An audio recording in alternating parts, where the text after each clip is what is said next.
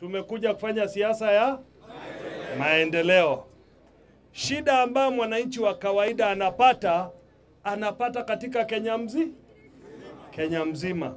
Hawa watoto shida ambao wako naye ndio watoto ya Gatanga ya Nairobi pia wako na wako naye. Na mi namshukuru waziri mkuu kwa sababu alitoa taarifa kwa bunge ya kujaribu kupunguza ushuru ili mwananchi wa kawaida aweze kupata chakula bila bei kwenda juu.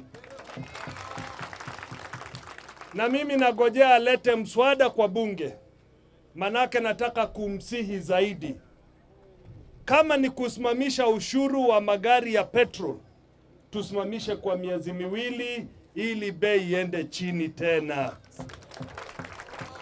Kama ni kususpend VAT kwa manufacturers wanaotengeneza vyakula, wasuspend kwa miezi miwili ili mwananchi wa kawaida apate bei ya chini ya chakula.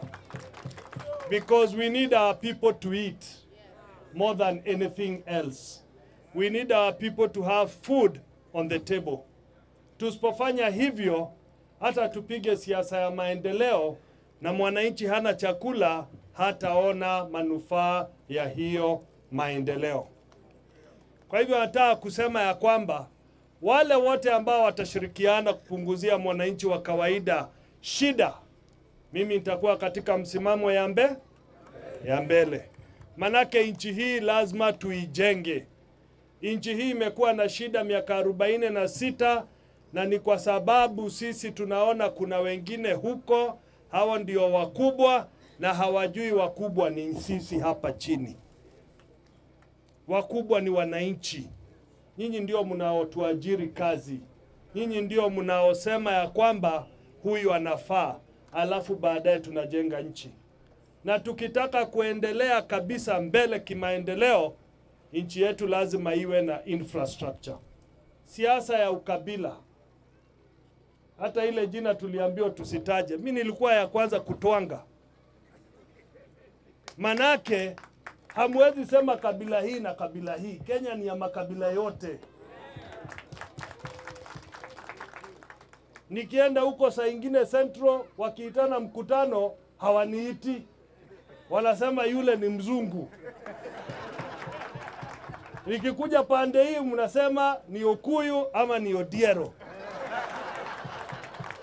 lakini haini, hainitishi manake mi naenda pahali popo wakituangana, mi nagojea wachoke na amsha ule ametwangwa zaidi. Manake siasa itakayotusaidia ni siasa ambayo itaunganisha taifa mzi taifa mzima. Hiyo ndio siasa ya kweli. Siasa ingine ati mnakaa mpige huyu kesho mpige huyo, hiyo inasaidia nani? Haisaidii. Na mimi nauliza viongozi, tuangalie, wananchi wako na shida mingi sana. Tujaribu tukae chini, tutatue shida ya mwananchi. Kupiganisha mwananchi juu ya siasa haitasaidia.